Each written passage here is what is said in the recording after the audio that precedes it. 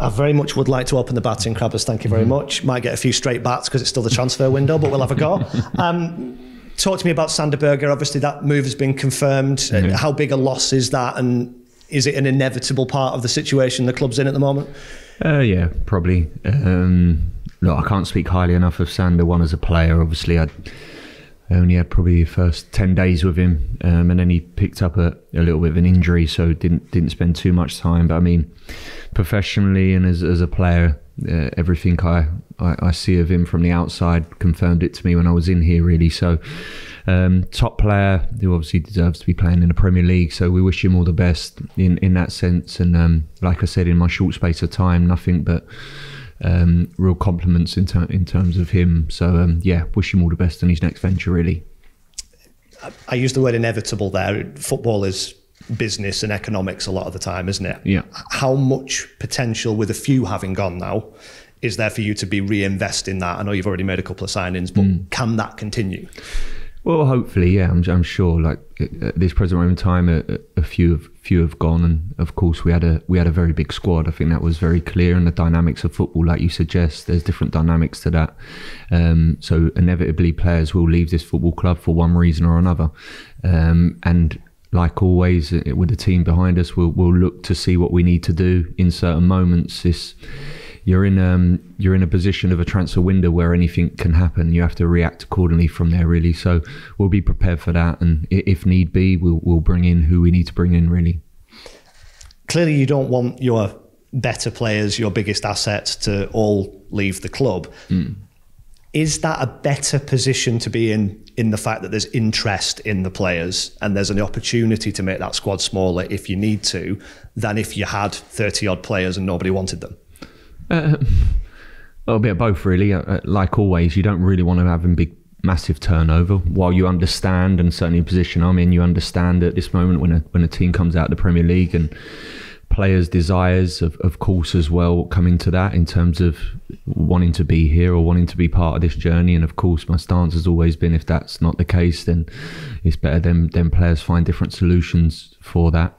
Um, and, and on the flip side of that is you, you obviously want your best talent and that gives you the best opportunity. But at that moment the bigger clubs or certainly the clubs that want them talent is there. So um, yeah like I said we, will we'll build and we'll work through through these moments. Players want to stay and we'll, we'll move on from there and and build this squad to the best we see possible to obviously make us successful this year really I'll spare you the big list of names and transfer rumours as far mm. as hmm. outgoings are concerned. Is there anything currently in progress for departures?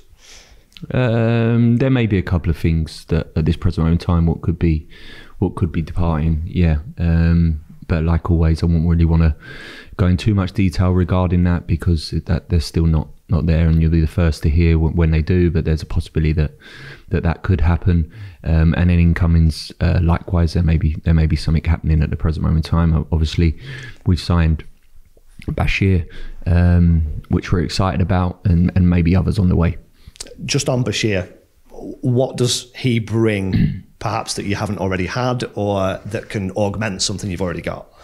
Well, I think he's a big talent. He's obviously had a a, a, loan last year in the championship, so he's obviously familiar with the league. A, a, really good age for us in that sense, with huge potential and ability, but one who we see that that that is not one for development, as in not being around it. He's certainly one what's going to be in around our squad and feel that he's got the capabilities to push and, and, and earn the right to play in this team really. So um, I think yeah, he's a very very good sign in that in, in that sense, and probably one what what tracks with some of the other signings we've made previous to this that big potential and one we want to develop and, and, and move on to the next level really. Yeah, we talked a bit last week about that profile of player that you can develop, but also is good enough to go into your team and, and, and mm. do the job now. Is it is it difficult to find players who are sort of in that Goldilocks zone, just about right for you?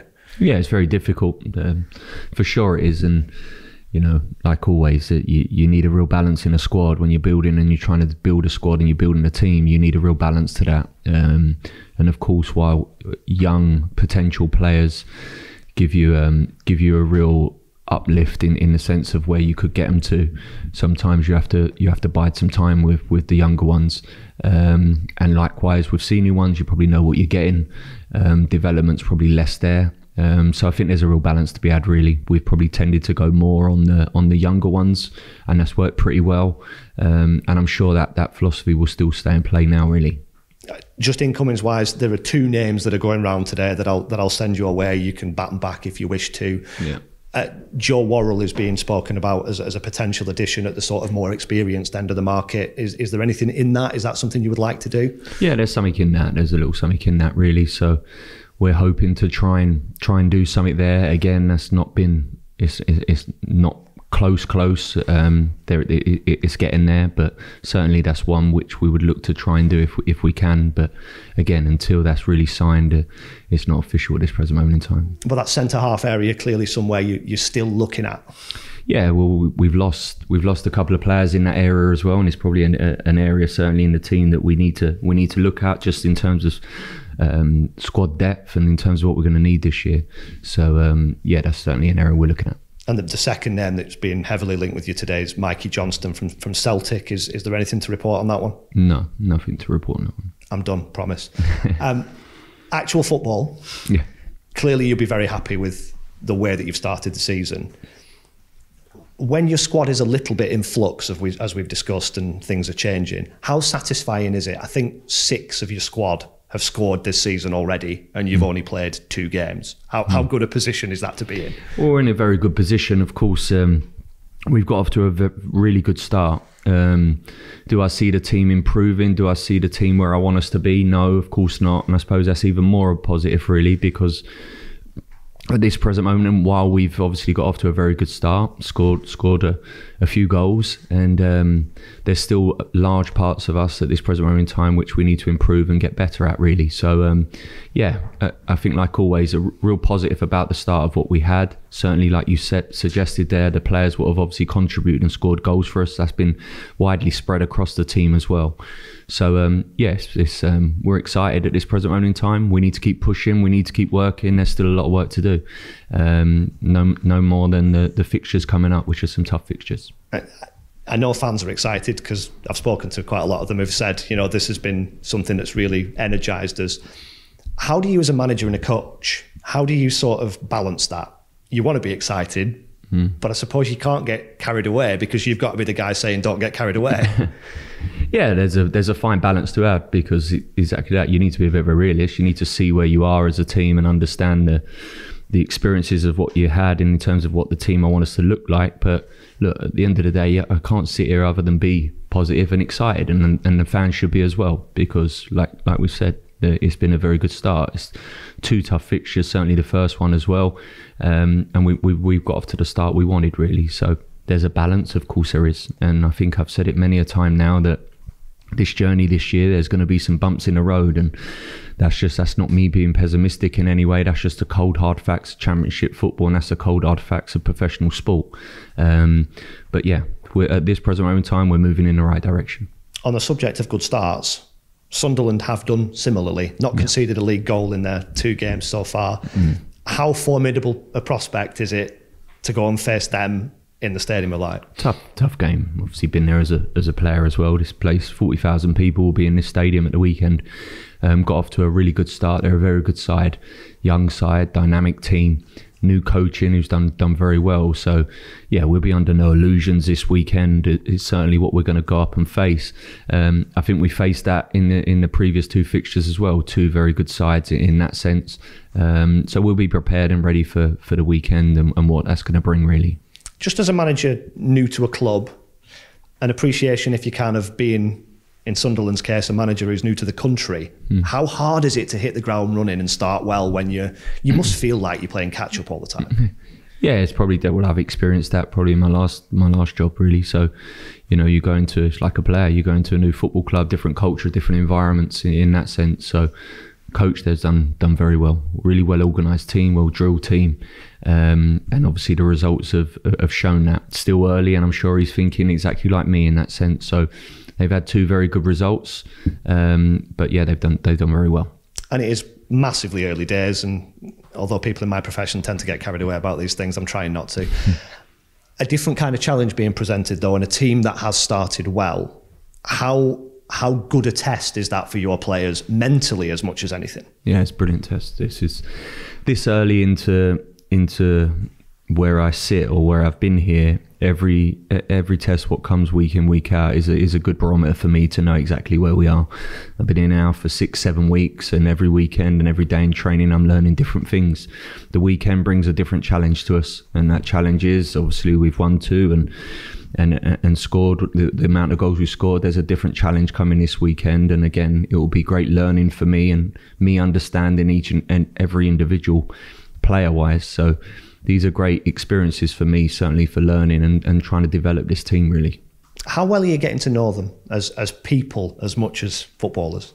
Yeah, really well. Really well. Obviously, been some time now, and certainly the way I manage in terms of my management um, and, and, how I how I go about things is, is, is vitally important. I get to know every single one of these players, build up a personal bond, and, and understand the dynamics and understand how these players work and the different uh, personalities in the squad, which there are, that which there are. Um, so yeah, it, that that these are these are constant things that we're, we're learning every day, really. And, and I'm just interested in how important sort of personality is, and having more than just the football element there, having different people in your changing room who are different, different interests, different backgrounds, all that kind of thing. Are you a it's got to be football 365 days a year, 24 hours a day guy or not? No, not really. At times I am the most important thing sometimes in professional sport is exactly what you're talking about. Is is is how you see things, how you are as a character, how you how you face certain issues, um, and of course, every professional footballer can play football. you know, of course, there's levels, of course there is, but ultimately, what, what you really define in, in certain moments is is the human being in, in, in them, and that's why it's vitally important for me to find out that. And you really only find that out one by being around them one by by seeing them every day, one by speaking to them, one by seeing them in certain moments. What we're going to be like when we've not been a goal down this year. What we're going to be like. How's our reaction going to be in them moments? How we how we're going to react in in certain moments which we've not experienced. These are all things that that now default back from technical ability. That's just character, and that's and that's just who the person's what he is and what he stands for really so yeah they're, they're vitally important in moments really and, and just finally for me how do you release the pressure valve? How do you do it personally? If you can't do 365 days a year, 24 hours a day, hmm. how do you stop the football making your head explode? What are your outlets? Me personally? Yeah. Um, there ain't one. there ain't many really, to be fair, because that's the nature of the job, really. So, yeah, pre- pressure's pressure. Everyone's got pressure. Everyone who, anyone who's employed and goes to work, we all have our own pressures, and that's part and parcel of it. And um, I enjoy that, to be quite honest with you. So at this present moment in time, uh, there's a job to be done here, and I'll invest every single ounce of me, every single minute of every day what I need to to try and make us successful this year. And uh, there won't be no stone go unturned to to try and reach that goal of of being successful. That's what I've done previously. I've, I've, I've come in knowing what sort of work and what, what I need to do and what I've done previously to get where I needed to get to and get the job done. So, um, and it's all good. Is it more important for players then? To be able to yeah, park it. Yeah, it's more important for players for sure, definitely. Um, and the intenseness of, of the, the game, what it is today, is obviously very, very different. And uh, the, the outlets in terms of everything and the pressure around players, I think it is vitally important that they do switch off. And certainly when they leave these facilities, um, they can switch off. And, and obviously when they come in here, switch back on. But I think it's much more important for the players, yeah. Thank you.